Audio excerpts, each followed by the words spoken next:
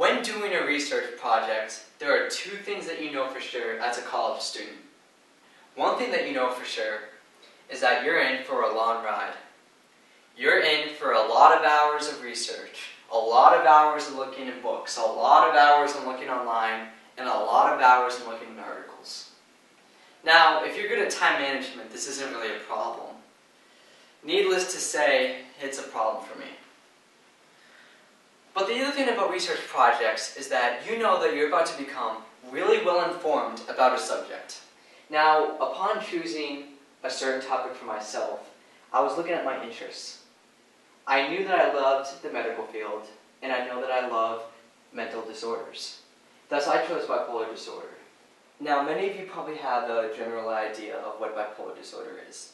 But what you might not know is that these alterations in moods that people bipolar disorder have don't happen like that. People don't go from happy to sad very quickly. No, these changes over a long duration of time.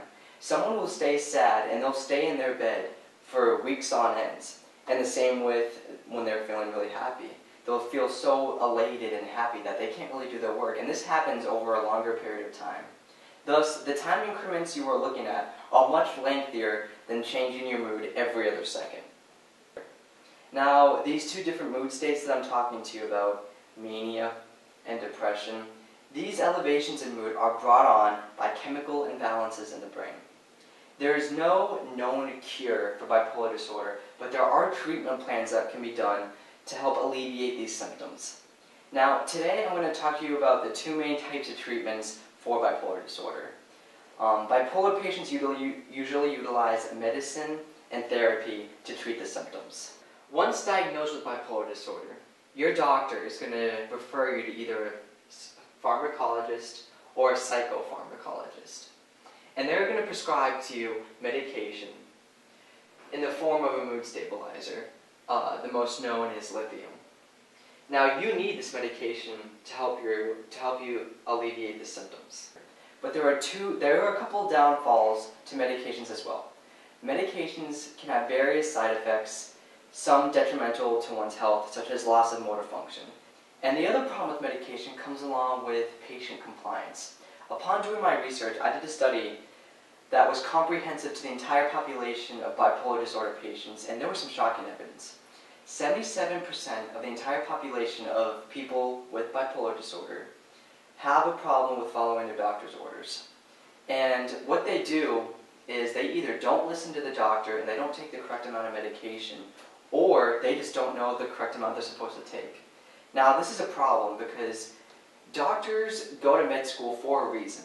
They know what is best for their patients. Now, you might not think that you're as bad off as your doctor says you are, but believe me, he knows better than you what is going to help you with your symptoms. So when it comes down to it, you should really trust your doctor. Regardless, people aren't going to listen and they're going to go against the doctor's orders. So there are there is the problem with patient compliance and there is the problem with side effects of medication. Now, I'm not trying to dismiss medication. It's very effective. Now, to prove my point that medication does help, I'm going to talk, talk to you about a case study that I read about. I happened to read with a story named Jill. Jill was a young woman who wanted to become a college professor. She, two years after graduate school, she had a newborn baby. And now this should have been the happiest time for a woman.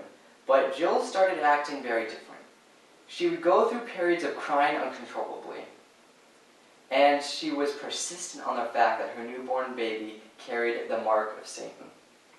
A couple weeks later, she would be so happy and alleviated that she couldn't even focus on the schoolwork that she had to do at hand. Thus, her pediatrician referred her to a psychopharmacologist who prescribed Jill with mood stabilizers, lithium in this case. Jill took heavy doses of this lithium, and she ended up feeling a lot better than she was beforehand. She could focus on being a great mother and also focus on her career as being a professor. Thus, this is a case of how medication can help bipolar patients fully.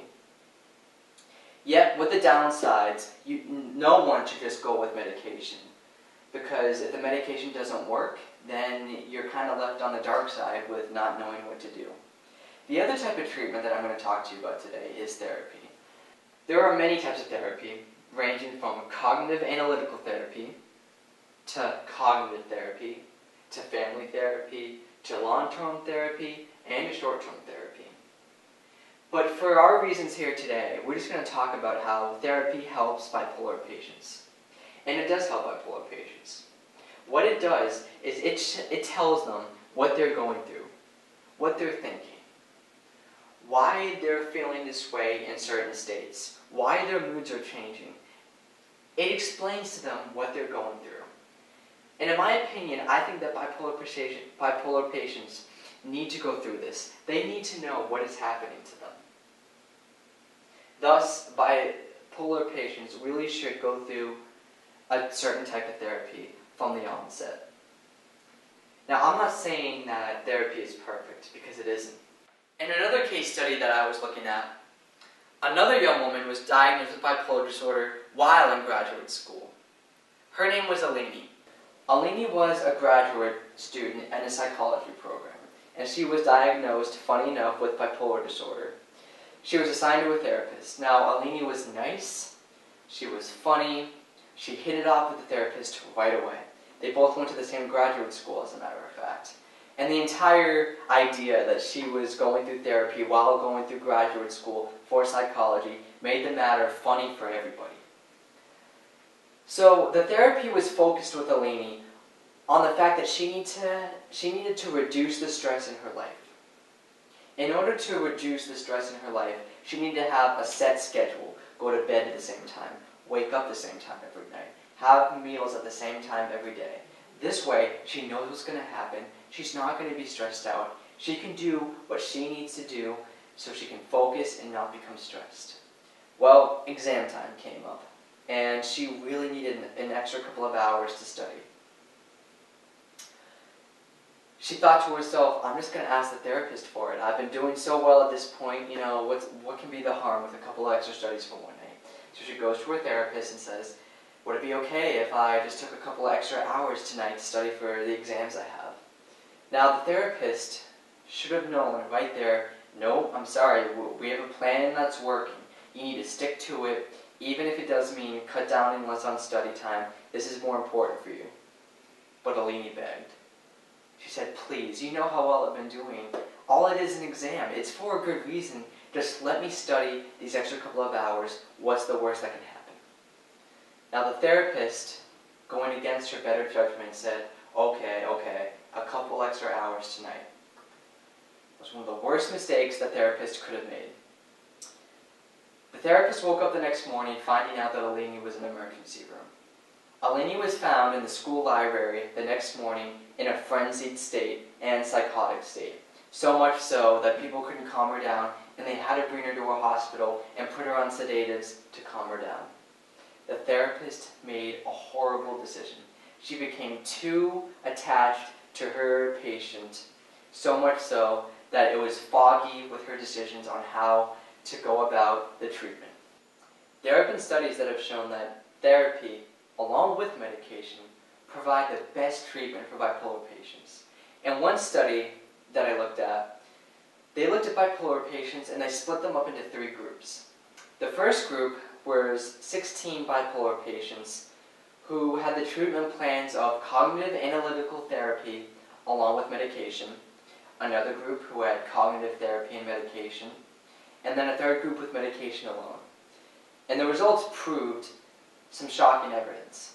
It showed that medication alone does not provide the best treatment plan at all. Those with medication alone had the most episodes, had the most elevations of mood, and had the least amount of control over themselves. The group that had the best results was that group that had the cognitive analytical therapy and the medication. They were able to control themselves they were able to keep their mood at a stable level without fluctuating between depression and mania. And then the second group, cognitive, cognitive therapy and medication, that group was just almost as well off as the cognitive analytical therapy group. Now what this proves to you is that medication alone can't get the job done. You need a type of therapy to help you, to help sustain these symptoms, to help die down these fluctuations in mood that people are receiving. So overall, what I'm trying to prove to you guys today is that if you are diagnosed with bipolar disorder, the best way to go about treatment is to go with medication and therapy. Think of it this way. If the medication isn't working, you have the therapy to back you up. If the therapy is not working, you have the medication to back you up. Maybe neither the therapy or medication are working that well, but at least you have both to help you. Or maybe, best case scenario, you have both the medication and the therapy working very well, in which case you have the best of both worlds. I rest my case. Go with medication and therapy. It is the best way to go about to treat your bipolar disorder. Thank you.